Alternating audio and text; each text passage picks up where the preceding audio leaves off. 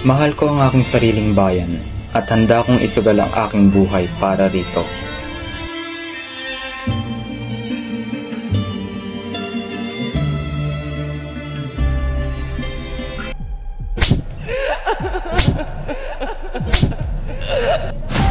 Ganito ang ginagawa sa babae na parang kalapating mababang lipad. Panginoon, turuan mo ako. Hindi ka ba nakukonsensya, Padre? Na narito ang naulilang anak ni Don Rafael. Mag-ingat ka kay Padre Damaso. Nalalapit na ang araw na matutuklasan mo rin kung anong nangyari sa inyong ama. Utang na loob, tanyente. Sabihin niyo sa akin kung sino ang walang iyang tintukoy ninyo.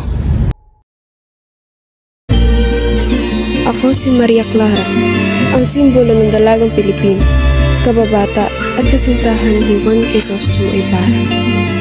Ano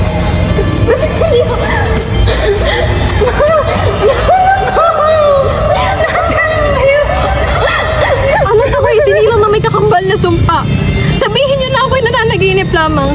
Na ito ay masamang panaginip lamang. Kami ay lubos na nakikiramay. Kayo? Kayo nakikiramay kayo? Kayo pumaslang sa aking nobyo! Kayo pumatay sa aking nobyo mga walang puso! Maria, Utang na loob! Utang na loob! Huwag niyo na ako patahimikan pa, por favor!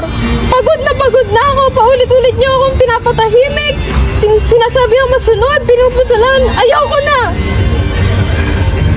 Tinatanggalan niyo ako ng boses hanggang sa ako'y mapipina. Pero hindi na. Hindi na ako mananahimik pa. Maria, bakit ka tumatangis?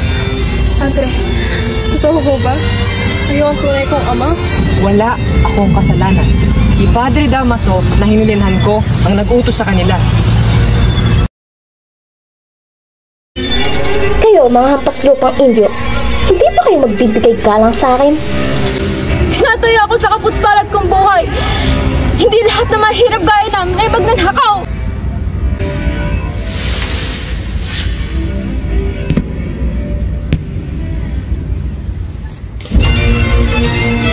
Ako si Crisostomo Ibarra, ang anak ng aking yumaong ama na si Don Rafael.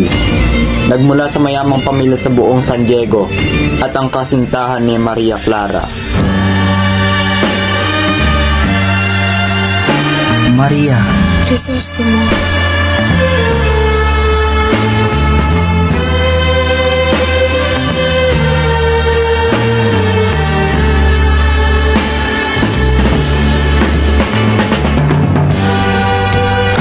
kalimutan ka?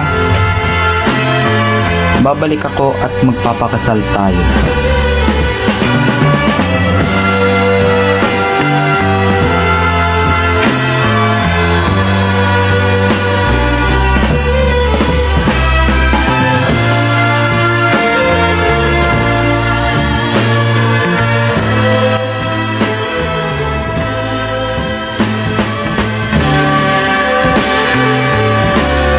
Hindi ka ba nakukonsensya, Padre?